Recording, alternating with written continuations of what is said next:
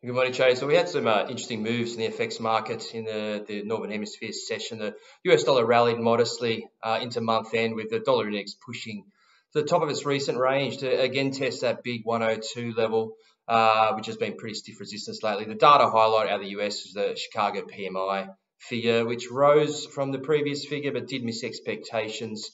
Uh, Fed speak, we had Governor Goolsbee I added little new from the FOMC statement last week, but uh, saying not sure when the Fed will be done raising rates, uh, making good progress on inflation, data dependent, etc., etc. They may or may not hike in September, uh, as far as he's concerned.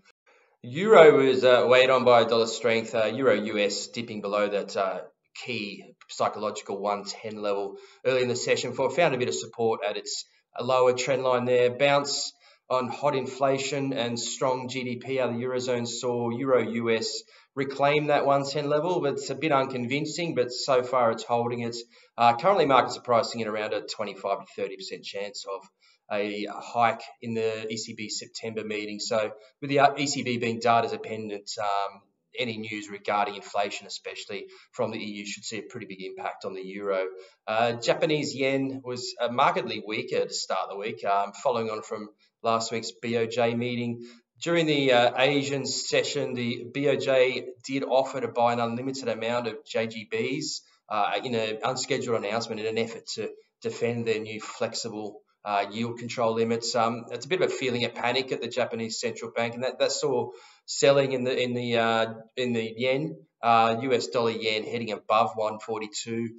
I think it's pretty likely to test that intervention zone at 145 the way things are looking as well in the near future. Uh, Aussie and Kiwi were the outperformers, and Aussie, the Aussie especially, was a clear winner. Uh, more talk from China regarding uh, future stimulus.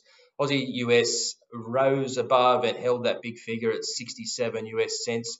Aussie dollar traders also positioning for the RBA policy announcement today due at 11.30 Australian Eastern Standard Time. Uh, markets are currently split, the rates markets anyway. Uh, it's a, between a hike or a hold following those cooler than expected Aussie CPI figures last week. Um, futures are showing 15 and a bit percent chance of a hike, but uh, economists that have been polled are, are calling it much closer than that. So certainly could be an exciting meeting.